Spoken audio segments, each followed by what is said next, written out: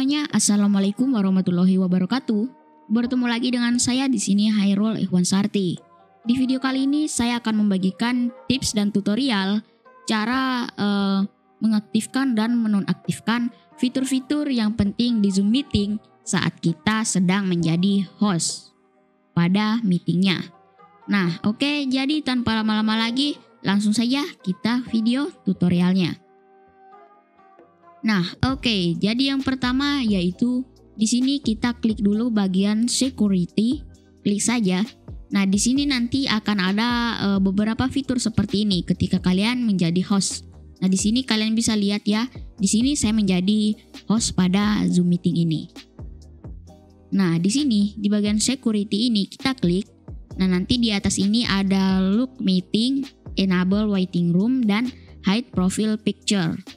Nah, misalnya partisipan yang ada di Zoom meeting itu kalian mau hilangkan uh, foto profilnya, kalian tinggal klik saja hide profile picture ini. Nah, maka nanti di sini akan hilang ya. Nah, kita juga sebagai host akan hilang ya profilnya. Nah, kita nah jika kita uh, uncentang hide profile picture-nya, nanti akan muncul profilnya. Nah, seperti itu. Kemudian di sini ada enable waiting room. Nah, di sini nanti untuk mendisable waiting roomnya kalian bisa klik saja di sini. Tapi di sini saya centang saja ya. Kalian bisa centang atau tidak itu opsional saja. Nah kemudian di sini ada lock meeting. Nah lock meeting ini fungsinya untuk mengunci zoom meetingnya ini. Nah kemudian di sini ada fitur uh, fitur-fitur partisipan yang bisa dipakai. Nah di sini kalian bisa nonaktifkan. Nah misalnya partisipannya itu uh, tidak boleh share screen. Jadi kalian tinggal centang saja share screennya seperti itu. Nah jika kita klik uh, share screen ini, maka nanti di sini uh, partisipan itu tidak bisa share screen. Nah di sini saya bisa karena di sini yang menjadi hostnya adalah saya. Nah jadi seperti itu ya. Jika kalian ingin mendisable partisipan yang ada di Zoom meeting kalian itu share screen. Nah kemudian di sini ada chat. Nah, chat ini biasanya sering dilakukan saat kita sedang melakukan uh, pembelajaran online. Ada biasanya chat yang bertanya ya sesuai dengan pembelajarannya atau ada chat yang hanya untuk bercanda saja. Nah, jika chat ini kalian rasa mengganggu saat kalian menjelaskan, nah biasanya kan uh, saat chatnya itu muncul, biasanya share screen kalian itu tertutupi ya screen kalian tertutupi dan partisipan yang sedang belajar yang lainnya nanti tidak akan bisa melihatnya atau kurang jelas. Jadi kalian bisa uh, disable saja chatnya jika chatnya itu mengganggu. Baru kalian uh, enable lagi chatnya saat kalian sudah uh, melakukan uh, penjelasan. Jadi nanti penjelasan kalian itu di share screennya tidak terganggu oleh chatnya seperti itu.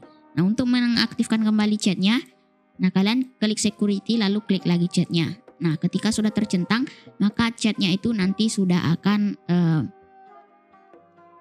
bisa lagi. Nah, kemudian di sini rename. Nah, kemudian di sini ada fitur rename. Nah, jika kita ancentang fitur rename-nya, partisipan kalian itu tidak bisa uh, merename uh, namanya. Nah, misalnya namanya di sini Sarti Media, nanti partisipan kalian tidak bisa merename-nya jika kalian uh, disable rename ini. Nah, di sini untuk rename ini tidak mengganggu juga ya. Jadi agar partisipan bisa merubah namanya sesuai namanya sendiri, jadi kita centang saja. Nah, kemudian di sini ada unmute.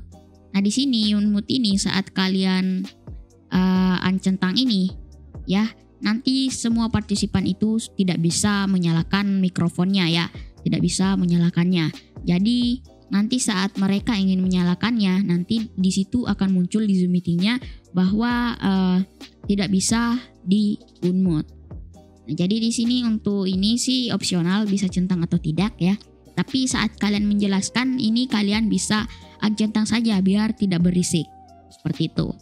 Nah, jadi di sini sebagai contoh jadi saya centang saja. Nah, kemudian di sini untuk start video. Nah, start video ini untuk melakukan uh, start video di sini maksudnya ya. Kamera zoomnya itu menyala. Nah, jika kalian disable, kita klik ya, tidak tercentang, nanti partisipannya itu tidak bisa melakukan start kamera atau uh, wajahnya itu terlihat seperti itu. Nah, itu saja yang saya dapat sampaikan sih. Nah, seperti ini dia settingannya ya saat kita menjadi host. Nah, kalian bisa ikuti settingan-settingan tadi itu terserah kalian saja sesuai sesuaikan saja dengan keadaan Zoom meeting kalian. Nah, seperti itu.